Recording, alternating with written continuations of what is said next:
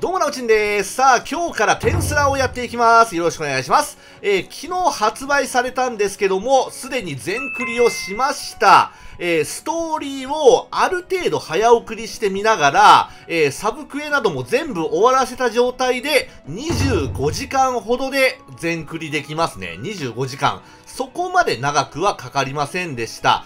で、全クリをした後に、えー、サブクエなどが発生したので、まだまだやることはありそうですね。で、全クリをしましたら、なんと、ディアブロが仲間になりました。えー、どれぐらい強いんでしょうかね。えー、ステータス的にはかなり高いっぽいです。えー、っと、まだまだね、えー、潜在能力56%しか解放されてないんですけども、えー、攻撃力、魔力、防御力など、えー、かなり高水準となってまして、これ育て終わる頃にはめちゃくちゃ強くなるんではないでしょうか。はい。ということで今日はディアブロを使っていきたいと思います。それでは行きましょう。能力の上昇率を開示します。それでは行きましょうか。えっ、ー、と、ディアブロに変わっていきますね。使いやすかったらいいけどな。使いにくいキャラクターいるんですよね。ほらほら、そうだ。どうだろうお上手。そうだ。さあ、踊りましょう。まだ立てます。そうだ。もうやっぱ火力は高い。しませてください。こうです。おやおや、遊びすぎそうだ。脆弱ですね。技が今どんな感じかっていうのがちょっとわからないのでちょっと後で見てみよう。うん。使いやすい。使いやすいね。動きすごくいいよ、うん、で攻撃範囲も広くって技の出も速いんで。あディアブロこれさすがだね。やっぱ全クリの後に入手できるっていうだけあってかなりいい感じですね。えー、っと、ミッドナイトロンドが、えー、連続攻撃だね。で、メンタルクラッシュがデバフか。あ、いいじゃん。デバフあるのいいね。うん、消費も2つなので全然いい。で、落とすもの。えー、っと、敵をしばらく行動不能。あー、でも5個使うのか。まあ、溜まった状態だったらば、ちょっと一度使ってみてもいいかもしれませんね。まあ、特にえー、何も取らずに最後まで行きましょう。うん。ちょっととりあえず使い勝手をまずは見たいからね。接敵を確認しました。ちょっと待ってよ。あれ使ってみよう。我が軍門に下りなさい。あスタンさせるのかいやでもほんとちょっとだね。おやおやこうです。おやおやこうです。それいかがですか、うんほらほらそうだほらほらこうです結構まとしましょうさあ遠慮なさらずに消費が激しい割にはペンタールド短いい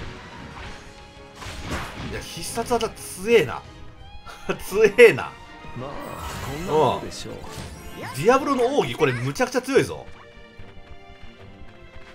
あでこう上かはいはいはいはいでは、ボス戦行ってみましょう。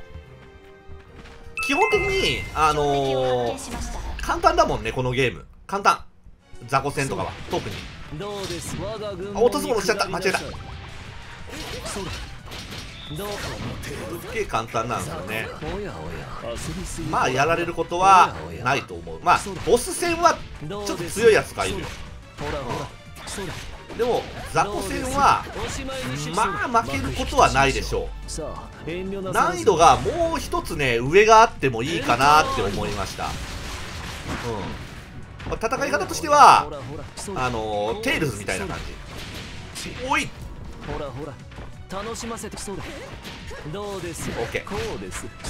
もうちょっとね難易度は高くてもいいかなと思ってます。ほらほらほらほら、うんなんか全クリしたから難易度が1つぐらいね。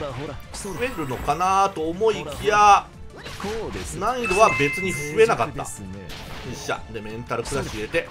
どうです？楽しませてくださいさあ踊りましょう。なかなかガードきついねこいつ。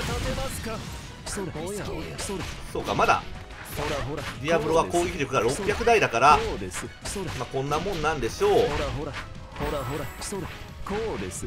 こうです。頼む。おやおやこうです。それあ、ラスボスはね、強かったですよ。ラスボスは初めて、あの、HP 回復必要だなって思った。楽しませてくほらほら。うん。ラスボスだけはねちょっとそう思いましたほね。ら。ほらこうです。こうです。ほらほら。さあ踊りましょう。まだ立てます。踊っちゃいましょさあ遠慮なさらずにペンタワールド倒した？おーおー意外と残ってる。一発しましょうさあ遠慮ないや、さらずにディアブロ強いね。うん。ペンタワールドこれは使いやすい。リムルにどの技を継承するんだろうね。それもちょっと気になるところですねこ。んなものでしょうオッケー。強いよ、ディアブロ。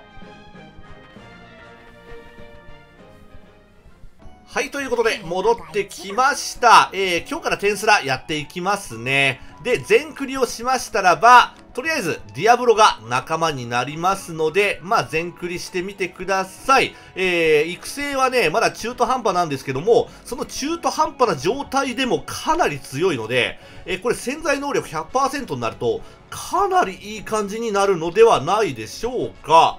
はい。ということで、またやっていきます。チェックをよろしくお願いします。そして、チャンネル登録と高評価もよろしくお願いします。それではご視聴ありがとうございました。